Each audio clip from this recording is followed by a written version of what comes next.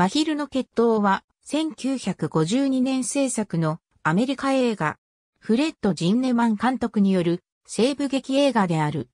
保安官が自分一人で殺し屋4人と立ち向かわざるを得ないという内容でジョン・ W・ カニンガムの小説ブリキの星に基づく。ゲイリー・クーパー・グレース・ケリーそれまでの西部劇では圧巻に立ち向かう主役の保安官は無敵のヒーローとして描くのが普通であったが、そのイメージに反して暴力を恐れる普通の人間として描かれていることに、この映画の最大の特徴がある。また、協力者が真っ先に逃げ、自らが守ろうとしているはずの町の住民が関わり合いを恐れて、協力や手助けを拒み、しかもその日、結婚式を挙げたばかりの新妻からも見放されて、孤独感に苛まされながら、主人公が一人で決闘に向かう姿を描いている。共に決闘に加わってくれるものを探して、街をさまよう保安官の姿に、それまでの西部劇にあったヒーローも、そして共に戦うという友情も開拓者魂もない。この映画以降、西部劇の主人公の描き方は、劇的に変わっていった。主演は、ゲイリー・クーパーで、年を重ねて、渋みのある中年男の孤独と苦悩を演じて、アカデミー賞の主演男優賞を獲得し、後にモナコ公妃となったグレース・ケリーが妻役を演じている。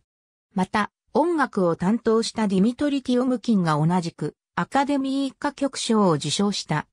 この映画が制作された時代は赤狩りの時代と呼ばれ、映画界においても数百人の映画人がハリウッドを追われた。この作品の内容は体制による思想弾圧を黙認するアメリカ人を批判したものと読み取ることも可能であるが、監督のジンネマンは政治的な意味はないと否定している。脚本のカール・フォアマンは、この作品の撮影中から赤狩りの対象となり、完成後、英国へ亡命した。ジンネマンは、最初にこの映画の脚本を読んだ時に、これは、傑作以外の何者でもないと思ったと自伝で語っている。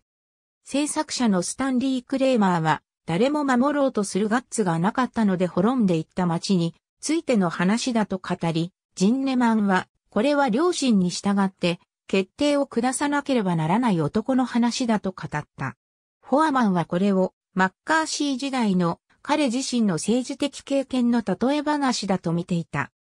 しかし、ジンネマン自身は深い意味があると感じ、普通の西部劇神話ではない。これはタイムリーでもあるが、時間を超越した今日の生活に直接結びついている何かがある。これはどこでもいつでも起こり得る話であると述べている。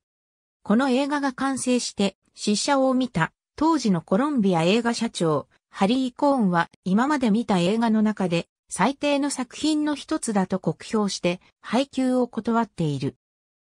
しかし後に AFI のアメリカ映画ベスト100で1998年総合33位にランクされ、2007年には総合27位にランクされている。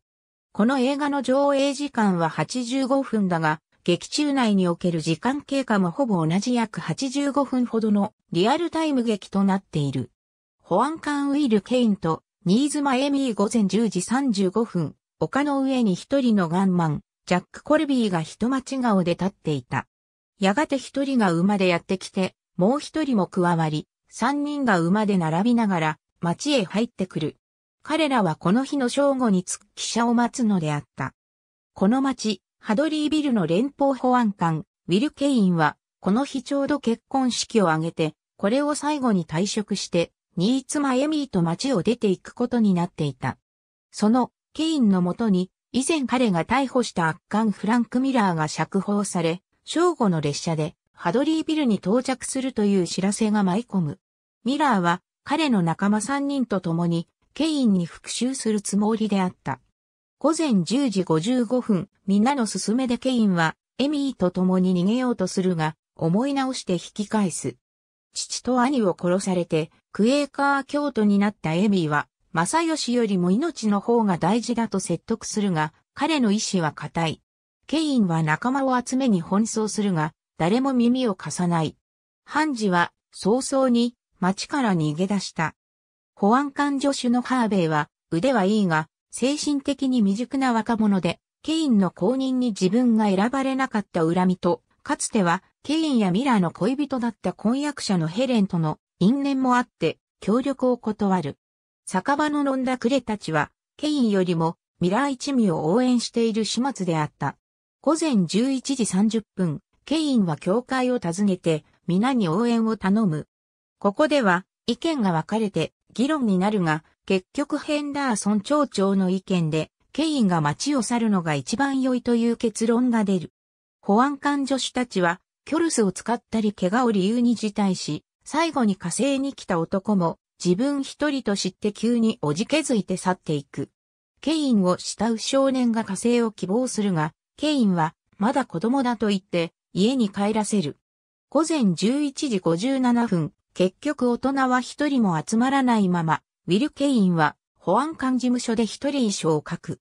午後0時、正午、フランク・ミラーの乗った汽車の汽笛が聞こえ、汽車の到着が近づいてきた。留置所の酔っ払いを放免して、ケインは一人銃を取った。外へ出た時に、目の前を、酒場の女主人ヘレンとエミーの馬車が横切っていく。ヘレンはハーベイにも街にも、愛想を尽かし、エミーを連れて行くのだった。駅に到着し、汽車からミラーが降りると入れ替わりに、ヘレンとエミーが同じ汽車に乗った。ヘレンとミラーはじっと互いを見合った。ケインの4人を相手にした孤独な決闘が始まった。戸口や窓がすべて閉められ、静まり返った街の中を4人が並んでカッ歩していく。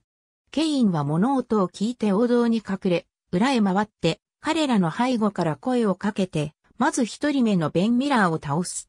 汽車の発車寸前、街から銃声が鳴り響いたので、エミリーはとっさに飛び出して街へ戻っていく。ケインは馬小屋に隠れながら応戦し、二人目のジャック・コルビーを倒す。